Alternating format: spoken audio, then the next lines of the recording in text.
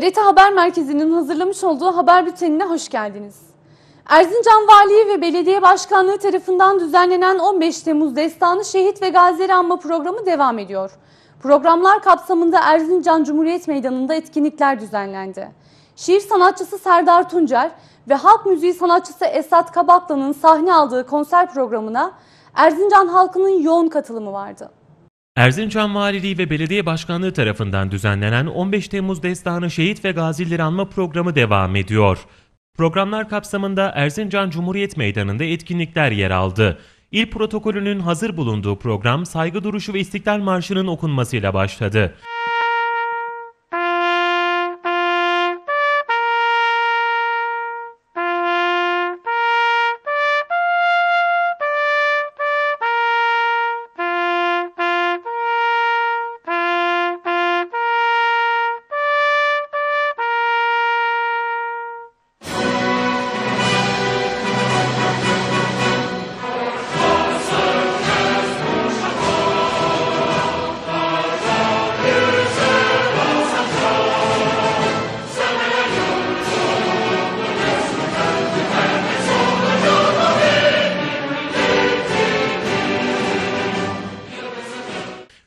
meydanındaki programa il protokolünün yanı sıra binlerce vatandaş katıldı. Salah okunmasının ardından Kur'an-ı Kerim tilaveti sunuldu. Es-salâ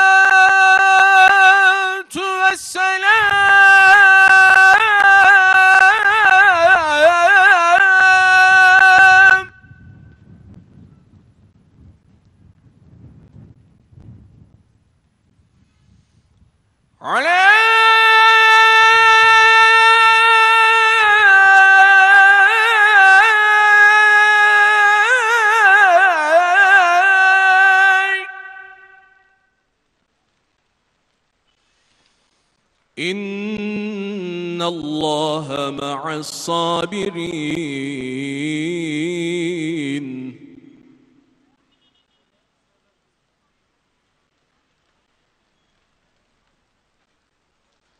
ولا تقولوا لمن يقتل في سبيل الله أموات. Ardından yapılan konuşmalarda 15 Temmuz gecesi yaşananlar anlatılarak Erzincan halkının demokrasiye sahip çıktığı vurgulandı. Konuşmalarda 15 Temmuz şehitleri rahmetle anıldı. adeti bahane ederek altın nesil yetiştiriyoruz dedi ve akrep bir örgüt haline geldi. Manevi dünyamızı baltalayan bu örgüt aynı zamanda insanımızı birbirinden uzaklaştırmayı, kardeşlik çınarımızı yok etmeyi hedef haline getirdi. Yıllarca emperyalist batının uşaklığını yapan, bu ülkeye zarar vermek isteyen bütün şer odaklarıyla nöbetleşe çalışan FETÖ, 15 Temmuz'da hainliğini, hainliğini nihayet kusmuş, gerçek yüzünü ifşa etmiştir. Dış mihraklar tarih boyunca ecdadımızın bize armağanı olan bu cennet vatanı savaş ve entrikalarla işgale yeltendiler. Bizi bu topraklardan sürmek, boyundur altına almak istediler. Bugün bu mücadele yine fiilen devam ediyor. Şer odaklar taşeron maşalarıyla ülkemizi ele geçirmek istiyor. Ancak unuttukları bir şey var. Çanakkale'de, Kutulamare'de, Sakarya'da vatanları uğruna şehit düşen yiğitlerin torunları aynı ruh ve aynı yiğitlikle karşılarında duruyor ve bu vatanı kimseye yar etmez diyor. Büyüyüp güçlenmemiz onların en büyük korkusu. Büyüyoruz, güçleniyoruz, diriliyoruz. 17-25 Aralık'tan sonra milletin iradesiyle devletimizi yönetme görevi kendisine tevdi olunmuş meşru hükümeti önce yargı darbesiyle bunda da muvaffak olamayınca son çare olarak Türkiye ne zaman ayağa kalksa başına gelen alışıldık felaket olan darbe vesilesiyle milletimizin iradesinin temsilcisi meşru seçilmiş hükümeti seçilmiş cumhurbaşkanımızı görevden uzaklaştırarak devletimizi ve milletimizi tedip etmek ülkemizi yeniden kendi arzuları, hevesleri, ihtirasları doğrultusunda dizayn etmek maksadıyla bu elim ve melun olaya tevessül etmişler, teşebbüs etmişlerdir. Eğer bu girişim başarılı olsaydı ne olurdu? Bu girişim başarılı olsaydı milletimiz hiçbir meydanda özgürce böyle bir anma töreni tertip edemeyecekti. Eğer bu girişim başarılı olsaydı 15 Temmuz Türk tarihine bir destan olarak değil, kara bir leke olarak düşmüş olacaktı. Eğer 15 Temmuz başarılı olsaydı 40 yıl boyunca çeşitli bahanelerle milleti ötekileştirenler milleti aynı zamanda köleleştireceklerdi. Evet arkadaşlar. Bu kısa izahtan sonra Erzincan'da neler oldu biraz da ondan bahsetmek istiyorum. Saat 22 sularında İstanbul Boğaz Köprüsü'ne tank ve zırhlı araçların sevkiyle başlayan darbe girişimi Erzincan'da da başta milletimiz olmak üzere yönetimin kademesinde olan her kademede bulunan bütün kamu görevlileri tarafından büyük bir tepkiyle karşılandı. Programda daha sonra şiir sanatçısı Serdar Tuncer sahne aldı. Sanatçı birbirinden güzel şiirlerini seslendirdi. Kırılır da bir gün bütün dişliler döner şanlı şanlı çarkımız bizim. Gökten bir el yaşlı gözleri siler. Şenlenir evimiz barkımız bizim. Yokuşlar kaybolur, çıkarız düze. Kavuşuruz, sonu gelmez gündüze. Sapan taşlarının yanında füze, başka alemlerle farkımız bizim. Daha sonra sahne alan halk müziği sanatçısı Esat Kabaklı, seslendirdiği duygu yüklü türkülerle katılımcılara unutulmayacak bir akşam yaşattı. Açılır surlarda gelik, açılır surlarda gelik, hele gel, hele gelik. Mehter sustu öttü düdük, mehter sustu öttü düdük. Rezil oldu pir meydan, rezil oldu pir meydan, pir meydan, pir meydanı. Hey pir meydanı, pir meydanı. Erzincan halkının zaman zaman eşlik ettiği konser programı geç saatlere kadar sürdü.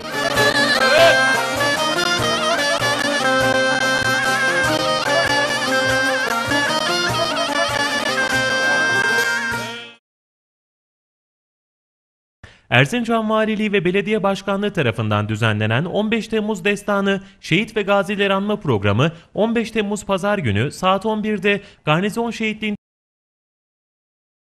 Saat 11.50'de camide öğle namazı öncesi Mevlidi Şerif okutularak Hatmi Şeriflerin duası yapılacak. Aynı gün saat 19'da Erzincan Belediyesi Mehter takımı eşliğinde halkın katılımıyla Cumhuriyet Meydanı'na kadar yürüyüş düzenlenecek. Daha sonra Cumhuriyet Meydanı'ndaki programa geçilecek. Burada protokol konuşmasının ardından Profesör Doktor Ahmet Şimşirgil'in katılacağı söyleşi programı, TRT sanatçısı Volkan Aslan'ın katıldığı konser programı düzenlenecek ve Erzincan'daki tüm camilerden salalar okutulacak. Gece saatlerinde ise Kredi Yurtlar Kurumu Erzincan İl Müdürlüğü tarafından çorba ikramı yapılacak ve 15 Temmuz konulu sinevizyon gösterisi yapılacak. Saatler 02.30'u gösterdiğinde ise Cumhurbaşkanı Recep Tayyip Erdoğan'ın halka seslenişi canlı yayında dev ekranda yayınlanacak. Saat 4'te Cumhuriyet Meydanı'nda kılınacak sabah namazının ardından programlar sona erecek. Evet sayın seyirciler 24 Haziran 2018 tarihinde yapılan seçimler öncesi görevinden istifa ederek Cumhuriyet Halk Partisi'nden Erzincan 1. sıra milletvekili adayı olan CHP İl Başkanı Ayhan Doğan yeniden il başkanlığı görevine seçildi. Partimizin il kongresine hoş geldiniz. 24 Haziran 2018 tarihinde yapılan Cumhurbaşkanlığı ve genel seçimleri öncesi görevinden istifa ederek Cumhuriyet Halk Partisi Erzincan 1. sıra milletvekili adayı olan Ayhan Doğan, yeniden CHP Erzincan İl Başkanlığı görevine seçildi. Değerli arkadaşlar, hedefsiz bir çalışma başarı beklenemez. Başarı ancak net, anlaşılır ve umut vaat eden bir hedefle olur. 24 Haziran seçimleri öncesi milletvekilliği adaylığı için istifa eden Doğan'dan boşalan koltuğa İsmail Urtekin oturmuştu. CHP Erzincan İl Başkanı İsmail Urtekin'in istifa etmesinin ardından parti il yönetim kurulu salt çoğunluğu üzerine yapılan iç oylamada Ayhan Doğan yeniden CHP Erzincan İl Başkanlığı görevine seçildi. Sayın seyirciler, Erzincan'da ekmek üretimine büyük önem veriliyor. Hijyenik şartlarda üretilen ekmek ve pideler satışa sunulurken yaz aylarında satışların arttığı belirtiliyor. Erzincan'da ekmek üretimine büyük önem veriliyor. Hijyenik şartlarda üretilen ekmek ve pideler satışa sunulurken yaz aylarında satışların arttığı belirtiliyor.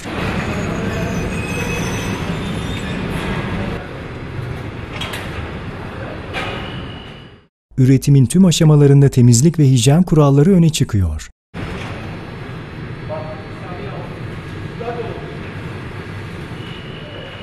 Fabrikasyon üretim ve kara fırın olarak adlandırılan fırınlarda üretilen ekmekler, market, bakkal ve bayilerde satışa sunulurken, yaz aylarında tüketimin arttığı belirtiliyor.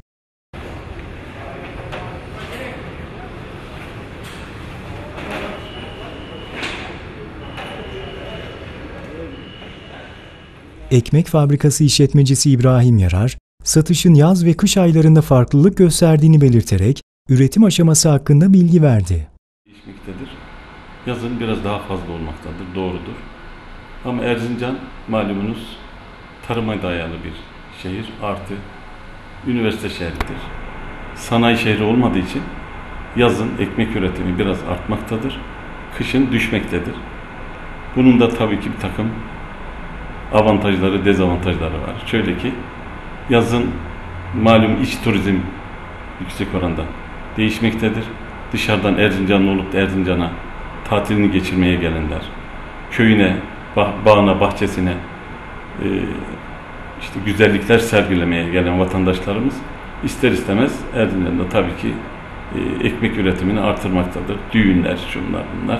Ama negatif yönü de Erzincan'daki üniversite talebeleri yaz gelince gitmektedir. Bundan dolayı işte bu denge sağlamaktadır. Kışın da tabii ki vatandaş evinde bazı köylü vatandaşlarımız evinde yapmaktadır. Tandırda falan. Bundan dolayı işte kışla yaz arasında çok da olmasa fark vardır ama e, yazın biraz yükselir, kışın azalır. E, bu da işte dediğim gibi ekmek e, sıcakta da fazla yenilmez. Biraz da fazla ısraf olmaktadır daha doğrusu. Yazın bu ekmek ısrafını da biraz vatandaşımız önderse daha da güzel olur. Çünkü yazın ekmek sıcakta pek yenilmediği için maalesef çok ısraf oluyor. Buna da biraz hassasiyet gösterirse vatandaşlarımız daha iyi olur. Nihayette bu bir milli tüketim.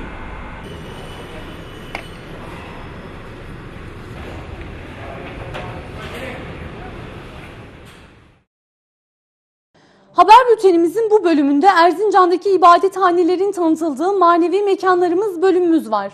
Bugün sizlere Hacı Bektaş Veli Anadolu Kültür Vakfı Erzincan Cemevi'ni tanıtacağız. Erzincan merkezde 4000 metrekare alana kurulan cemevinde ibadetin yanı sıra kültürel ve sosyal etkinlikler de yer alıyor.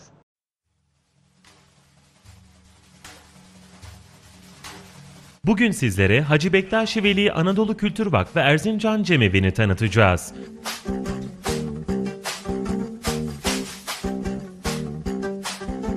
Erzincan merkezinde 4000 metrekare alana kurulan cemevinde ibadetin yanı sıra kültürel ve sosyal etkinlikler de yer alıyor. 22 yıl önce temelleri atılarak hayırsever vatandaşların maddi katkılarıyla yapılan Erzincan Merkez Cemevi, Erzincan'ın manevi mekanları arasında yer alıyor. Muhammed Ali Nazar eyle bari bana Yezu Celal'in aşkına Çektirme şol zari bana Allah bir Muhammed Ali Nazar eyle bari bana Yezu Celal'in aşkına Çektirme şol zari bana. Birlerin yaz ederiz Yalan dünyanı deriz Ölürüz hasret gideriz Gösteriş ol didarı bana. Pirlerin yaz Cemevinde cem salonu, morg, gasilhane, misafirhane, konferans salonu, kurs salonları, yemekhane, mutfak bölümleri yer alıyor.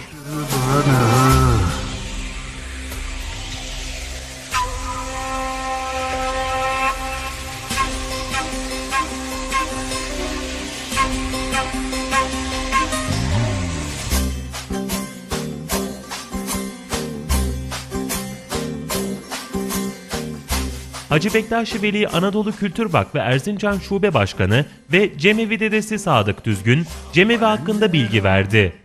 Ee, Erzincan Merkez Cevemiz 22 yıl önce temelleri atıldı, faaliyete başladı. Cememiz sade ibadet yeri olarak biz düşünmemekteyiz. Genel olarak biz e, kültürel etkinliklerimizi de bu mekanlarda yapmaktayız. Cememiz 4000 metrekare üzerine kurulmuş bir alana sahip. E, cemevimiz, yemekhanemiz, morkumuz, misafirhanemiz, misafirleri ağırlayacağımız salonumuz, misafirhanemiz ve e, konferans salonumuz vardır. Her perşembe cemevimizde ibadet yapılmaktadır. İbadetin yanı sıra e, Aleviliği anlatıcı, Alevileri bilgilendirici, toplumu bilinçlendirici konferanslar da yapmaktayız. E, hafta sonları kitap okumaktayız. Birçok sosyal etkinliklerimiz var. Bağlama kursları yapmaktayız. E, semah kurslarımız var. E, e, halk eğitimi merkeziyle e, ilişkili olarak dikiş, nakış, giyim kurslarımız var. Ayrıca SODES projesi kapsamında bağlama, tiyatro e, kurslarımız var. Buna ilaveten de folklor kurslarımız var SODES programda. Yaklaşık bunların hepsini bir araya getirdiğimiz zaman 200 kişiye yakın bir öğrenci burada e, faydalanmaktadır. Bu sosyal etkinlikler bizim için çok önemlidir. Çünkü geçmişini bilmeyen gelecekte yok olmaya mahkumdur. Biz de buna göre önce geçmişimizi biliyoruz. Geçmişimiz, geçmişimizi iyice öğreniyoruz ki gelecek kuşaklara güzel bir aktarım yapalım. Çünkü geçmişini bilmeyen nesiller gelecekte yok olmaya mahkumdurlar. Sık sık başka yerlerdeki ziyaretleri, Türkiye genelindeki turizm bölgelerini sosyal etkinlik çerçevesinde gitmekteyiz, gezmekteyiz. Çeşitli ziyaretlere ziyaretlerimiz olmaktadır. Ondan sonra misafirhanemizde gelen misafirlerimizi ağırlıyoruz. Ücretsiz olarak burada faydalanıyorlar. Ee, özellikle cem ibadetlerinde Aleviliğin ne demek olduğunu biz anlatmak zorundayız. Cem evimize bizim cem ibadetlerimize sadece Aleviler gelmiyorlar. Özellikle Sunni kardeşlerimiz ve toplumun her kesiminde ki inanan kesimdeki insanlar gelmektedirler. İbadetlerimize iştirak etmektedirler. Biz de ibadetlerimizde Allah'a karşı kulluk görevlerimizi burada yerine getiriyoruz. Çünkü cemevi bizim Aleviler için ibadet yerimizdir. Her insanın Allah'a karşı kulluk görevleri vardır. Biz Alevilerde Allah'a karşı olan kulluk görevlerimizi cemevinde ibadet yaparak yerine getirmekteyiz. Tabi gençlerimiz de bu Aleviliği öğrenmek zorundadır. Cem ne demek, cemevi ne demek, tüm ritüellerimizi anlatmamız lazım herkese. Alevi olmayanlara da anlatmamız lazım. Hoşgörülü olmak zorundayız biz. Çünkü biz nasıl ibadethanemizde cem ritüellerini yerine getiriyorsak e, Sunni kardeşlerimiz nasıl camide ibadetlerini Allah'a karşı kulluk görevlerini yerine getiriyorlarsa biz onlara hoşgörülü davranacağız. Herkes de aynı hoşgörüyü bize göstermek zorundadır. Hoşgörü her şeyi çözer ben diyorum. Çünkü bu tür yere gelenlerden e, her şeyi öğrenen kesimlerde hiçbir topluma zarar gelmez. Aleviliği öğrenen kardeşlikten, barıştan yana olan genelde insanlardır. Barışı biz seviyoruz. Barıştan yana tavrımız her zaman. Biz istiyoruz ki şehrimizde barış olsun, Türkiye'de barış olsun, tüm dünyada barış olsun. İnsanlar insanca yaşasın, ayrımcılık hiç olmasın. Biz ayrımcılığa da tamamen karşı bir toplumuz. Sayın seyirciler, piknikçilerin vazgeçilmezi olan çeşit çeşit mangallar satışa sunuluyor. Erzincan'daki mangal ustaları ise bugünlerde fazla mesai yapıyor. Üretilen mangallara il dışından da talep var. Pikniklerin vazgeçilmezleri arasında bulunan ve satışlarında yaz ayları ile birlikte artış yaşanan mangallar, farklı üretimleriyle dikkat çekiyor.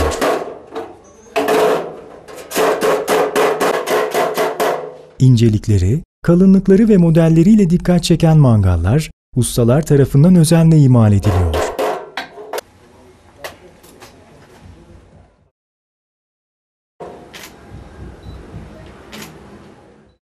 Üretilen mangallara il dışından da talep var. Özellikle yaz aylarında işlerin daha iyi olduğunu belirten mangal ustası Ufuk Çağlar, mangal üretimi ve modelleri hakkında bilgi verdi. ister istemez gurbetçilerin gelmesinden dolayı e, bu aralar mangal üretiminde bir fazlalık var. Ondan dolayı işlerimiz bu aralar daha iyi. Çeşit çeşit mangallarımız var. İncelikten kalınlığa, e, kaliteye göre değişiyor. Dayanıklılık ömrünün uzanması için işte e, diyelim bir sene dayanan mangalımız da var, 10 sene dayanan mangalımız da var. Böyle çeşitler büyük, ebat, küçük, katlanır. Her çeşit hemen hemen her keseye uygun mangal üretimini yapıyoruz. Erzincanlı genelde biraz kalın ve büyük boy mangalları genelde tercih eder.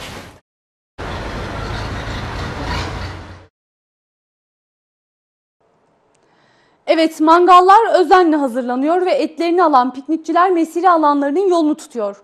Peki kırmızı ette nelere dikkat edilmeli ve etin püf noktaları neler? Bu sorunun cevabını ERT Haber'den Özgür İlhan sizler için araştırdı. Dengeli beslenme için büyük önem taşıyan et tüketiminde nelere dikkat edilmeli sorusunun cevabını sizler için araştırdık.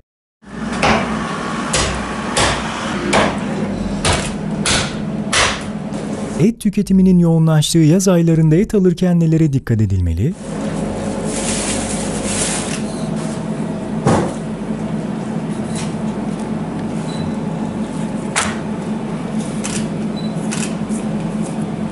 Nasıl saklanmalı? Ve tüketimi nasıl olmalı? Bu soruların cevabını 35 yıllık kasap Faruk Toprak'tan aldık. et alırken hafif yağlı olsun. Çünkü ithalatları bizim halkımız efendime söyleyeyim e, tercih etmemektedir. Çünkü ithalatlerde gram desen yağ olmaz. Hafiften yağlı olması e, daha iyi olur yani. Efendime söyleyeyim biraz daha açık olması daha iyi olur. Efendime söyleyeyim e, yani müşterimize memnun etmeye çalışıyoruz yani. Taze et nasıl anlaşılır? E, zaten bizim günlük kesimimiz var. Efendime söyleyeyim Allah'a çok şükür 12-13 tane yerim var. Devamlı her gün verdiğim. Onun için günlük kesim yapıyorum. Her gün kesim yapıyorum yani. E sonra bayat et e, canlı durmaz. E, efendime söyleyeyim e, yeni et her zaman canlı durur.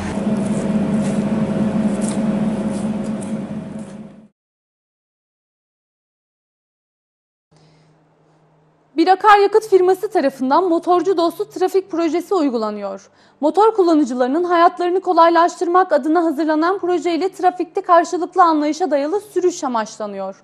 24 ilde düzenlenen gezici eğitim programlarının biri bayan motor sürücüsünün katılımıyla Erzincan'da yapıldı. Motosiklet kullanıcılarının hayatını kolaylaştırmayı amaçlayan bir akaryakıt firması kendini karşıdakinin yerine koyma hedefinden yola çıkarak motorcu dostu trafik projesiyle trafikte karşılıklı anlayışa dayalı kurumsal sosyal sorumluluk kapsamında Türkiye'yi kapsayan gezici etkinlikleri çerçevesinde Erzincanlı motorcularla bir araya geldi. Türkiye'yi kapsayan gezici etkinlikleri çerçevesinde Erzincanlı motorcularla bir araya geldi. Motorcu Dostu Trafik Sosyal Sorumluluk Projesini trafikte empati hareketi söylemiyle hayata geçiren firma, trafikteki motosiklet ve diğer taşıt kullanıcılarının birbirlerini daha iyi anlaması ve güvenli bir sürüş ortamı sağlaması için planlı, programlı, sürekli ve sürdürülebilir bir şekilde çaba sarf etmeyi hedefliyor. Samsun, Giresun, Giresun'dan sonra ne var? Trabzon, dün Trabzon'da, bugün Erzincan'da bitiyor.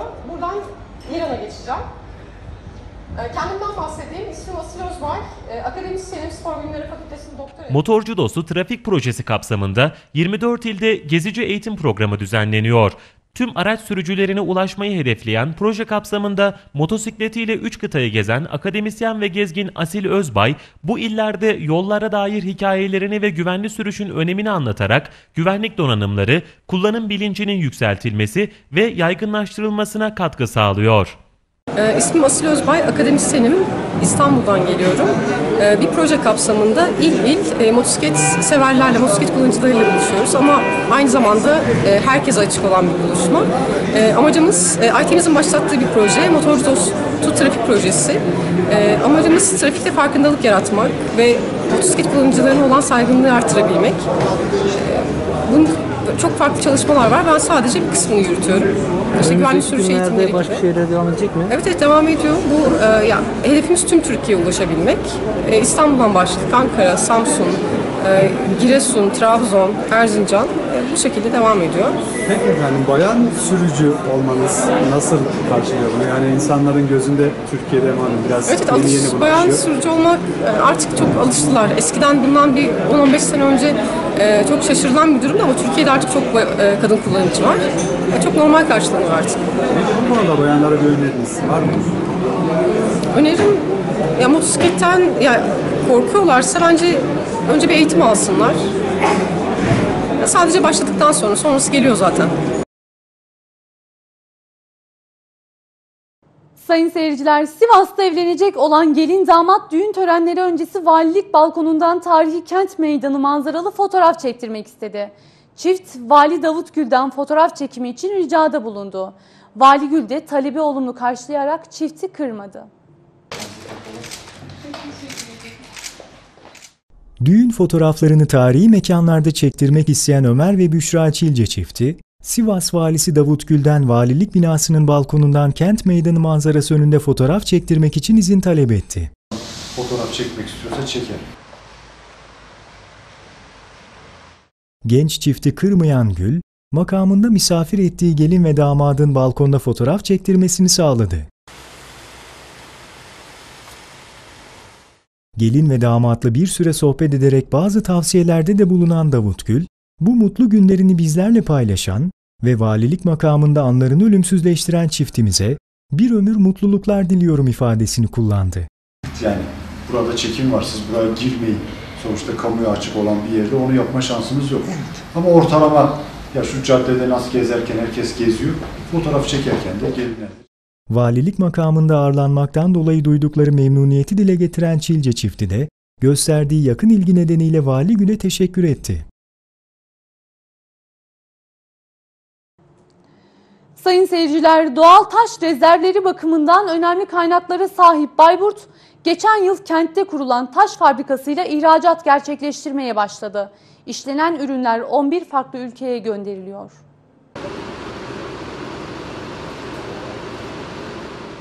Doğal taş rezervleri bakımından önemli kaynaklara sahip Bayburt, geçen yıl kentte kurulan taş fabrikasıyla ihracata başladı.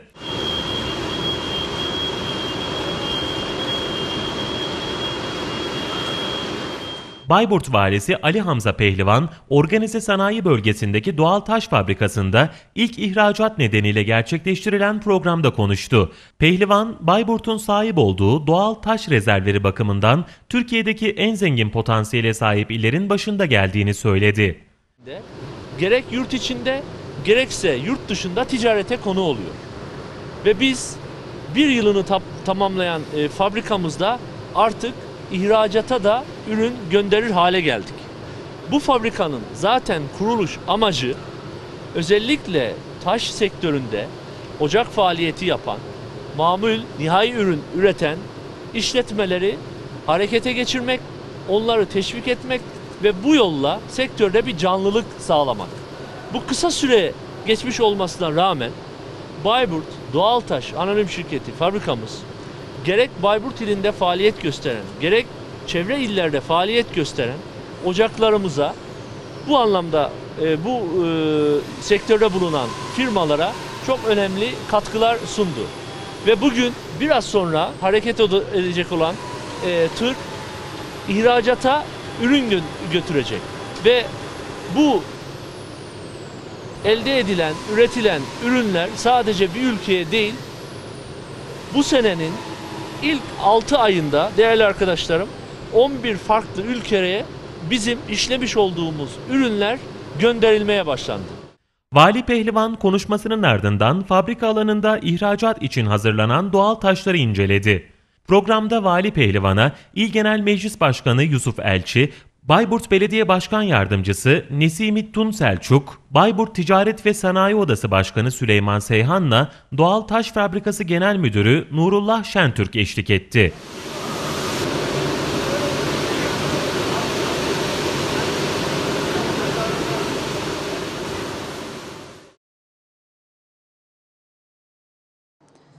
ERT Haber Merkezi'nin hazırlamış olduğu haberleri sundum. İyi bir hafta sonu geçirmeniz dileğiyle esen kalın.